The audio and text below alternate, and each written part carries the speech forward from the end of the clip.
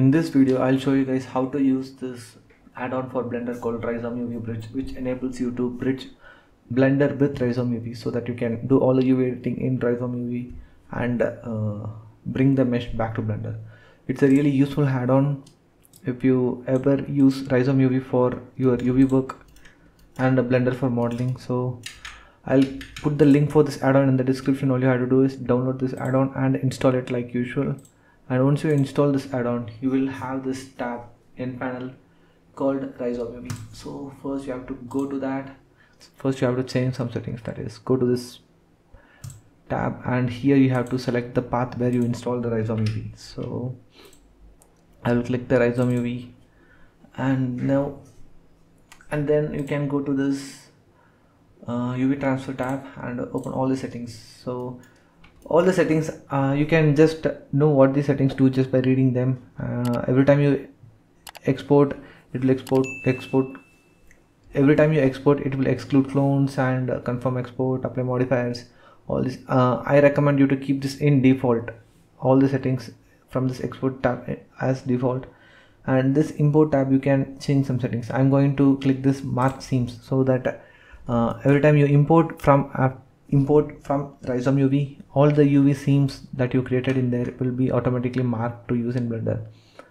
And uh, here this tab have all the access how the Rizom UV works. So I'm going to here I'm going to leave most of them in default other than the map resolution i'm going to change this to 4096 you can change all the settings if you want. I'm going to keep them in default for the most part. So once you change the value to 4096 it will change the margin and the padding value uh, as required. Now i can go here and on, all i have to do is now i have to select the object which i have to export and i have to click this export button. This will open up the Rizom uv in a new window and with the object and the object it will export the object that you selected. Now as you can see this this Suzanne mesh has a default UV as you can see. It has a default UV and in the 3D viewport you can see the UVs are not marked. So I'm going to come here I'm just going to do some quick edit. Uh, this is not a tutorial on how to use Rizom UV if you want a tutorial on how to use Rizom UV uh, leave some comments. I will do them in future. So I'm going to just make some quick edits.